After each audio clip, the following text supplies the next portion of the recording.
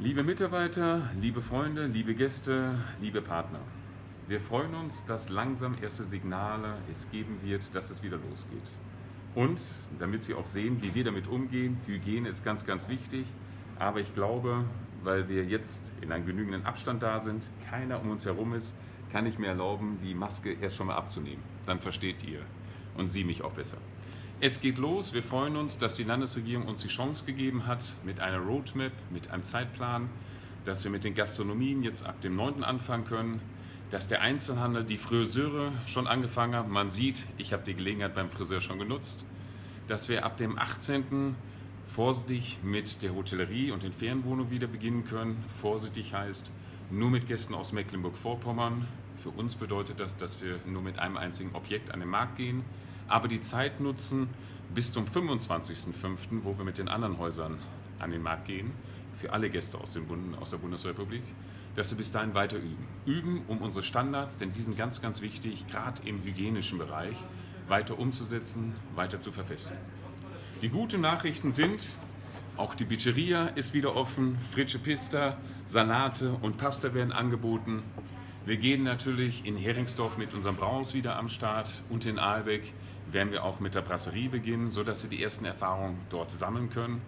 Wichtig aber, nutzen wir die Chance, gemeinsam in unserem tollen Team wieder für Gäste arbeiten zu dürfen. Bitte vergesst aber nicht eins, es ist wie ein zärtliches Pflänzlein, was wir gerade gesetzt bekommen. Wir müssen sehen, dass Sie diese Pflanze wirklich behutsam betreuen. Denn wenn uns die Hygiene aus dem Ufer läuft, aus dem Rahmen läuft, kann es passieren, dass es zu erhöhten Infektionszahlen gibt die unter Umständen sehr negative Konsequenzen für die gesamte Branche, beispielsweise auch für unsere Insel haben würde.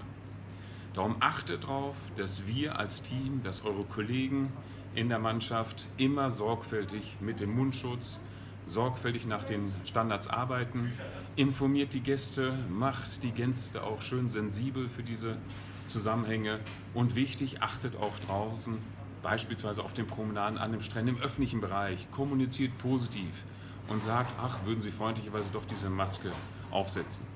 Auch wenn die Regierung uns diese Chance gibt, wir tragen alle dafür eine Verantwortung, dass es für uns, das heißt für unser gesamtes Team, für die Mitarbeiter, für die Gäste, aber auch natürlich für die Einwohner, hier zum Beispiel auf der Insel Usedom, es gesund, vernünftig weitergeht. Darum, wir freuen uns riesig, aber wir sehen da auch eine riesige Verantwortung, die uns auferlegt wird, berechtigterweise, mit der wir sorgfältig umgehen müssen. Nutzen wir die Chance, freuen wir uns, dass es wieder gute Pizza gibt, dass wir hochmotivierte Mitarbeiter wieder haben werden und dass wir eine tolle Zukunft machen, das Beste daraus machen können. Ich glaube, wir haben da eine gute Chance. Passt aber auf, denn wir gemeinsam sind dafür verantwortlich, was daraus wird. In diesem Sinne wünsche ich euch ein wunderschönes Wochenende, wünsche Ihnen allen zusammen viel Hoffnung, dass wir das Beste daraus machen können Sie wissen, Usedom als Gäste ist immer eine Reise wert und wir haben hochmotivierte Arbeiter und Mitarbeiter, die um ihre Sicherheit sich sehr viele Gedanken gemacht haben und diese auch erfolgreich umsetzen würden. Ich freue mich auf unseren nächsten Termin. Bis dann.